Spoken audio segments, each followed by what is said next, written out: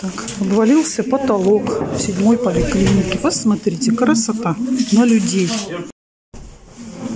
Здорово.